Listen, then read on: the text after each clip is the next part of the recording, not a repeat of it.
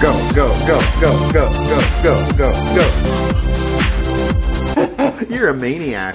Look at this. I'm an exercise scale. Okay, that's what that is. Yeah, that because you have this, all the exercise boys and girls have these bands. yeah, we've seen those around 30 years ago. Hi guys.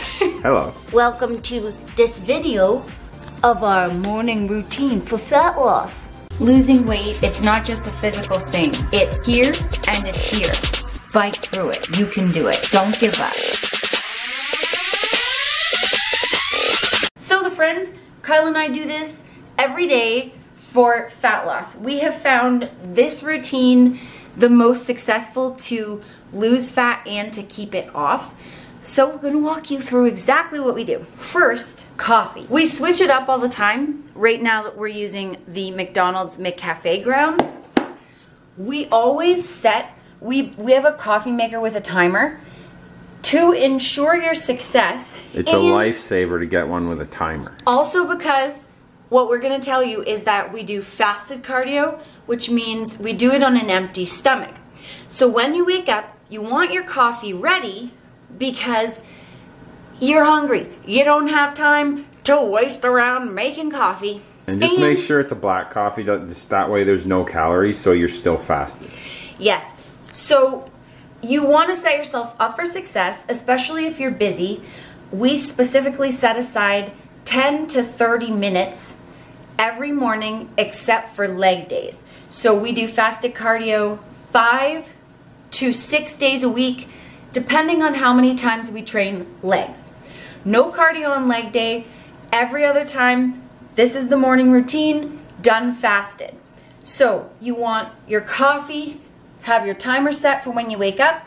You come down, you drink your black cup of coffee. The coffee not only gives you that caffeine energy boost, it also makes you warm.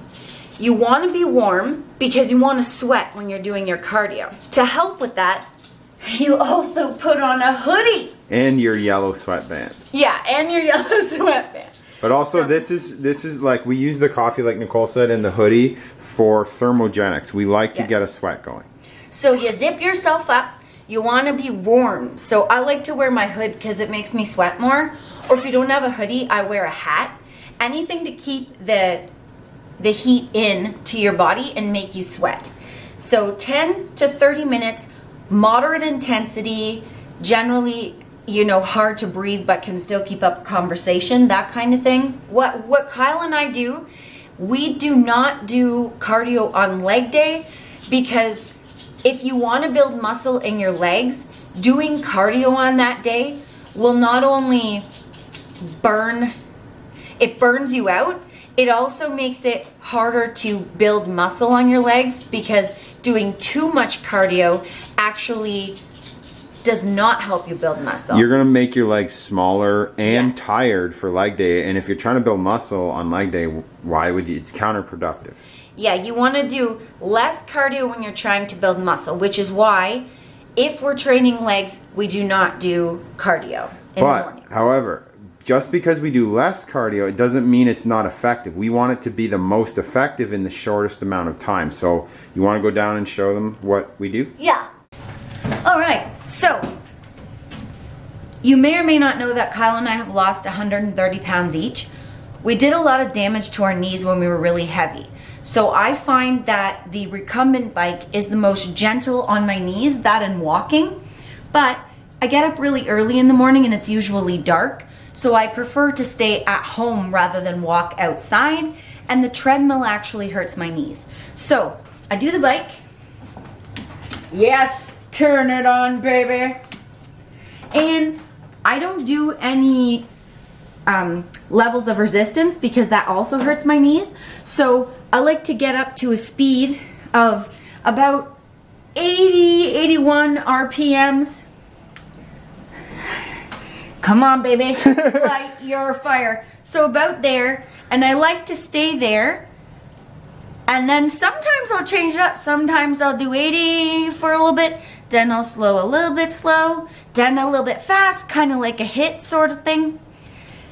And I do it again, 10 to 30 minutes, usually about, you know, 20 most days, but I like to change it up, not do the same thing all the time because it keeps that- your body guessing. That's actually a very good tip.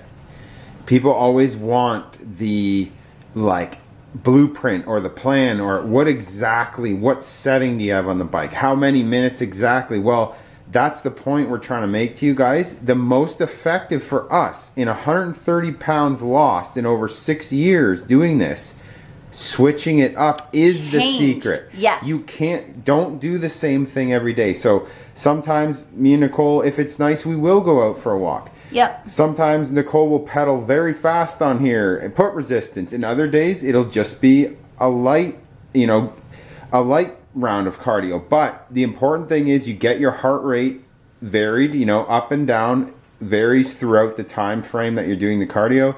You get a little bit of sweat going, and the fasted is very important because you can tap into the fat stores instead of using the food that you already ate in the day to do the cardio. Yeah, because anything that you ate has been gone overnight because you were fasting. So before you break the fast, you only have fat stores left. So your body will burn through those, like Kyle said, instead of food.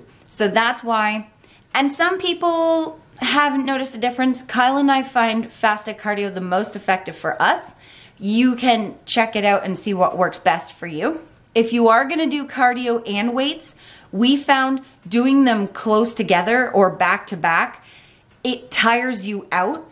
So doing them separate is the best. It's kind of like the counterproductive leg day cardio thing. Yes. You have to know what your goals are. And if you're putting your cardio and weights together, you're not building muscle. You're just burn, you're just burning burning calories. Yes, exactly. So when I'm done my cardio, then I go get my belly filled.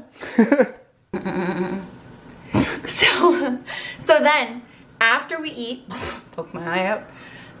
Um, I mean, after cardio, it's time to eat. Is it stuck? Oh. that blasted thing. Okay. Who are you, Skeletor? I'm cool. Blasted. Who's who says that? the cool people in the world. Right. So, the friends. Uh oh. Things are getting serious now. You gotta show your muscles. so, okay, so first thing I do, I always have my breakfast prepped because you're gonna be hungry after doing fasted cardio. You've drank, you've had your coffee, you've been up for like half an hour with no food. It's time to eat. I always want it ready. So this is a carrot cake protein pancake.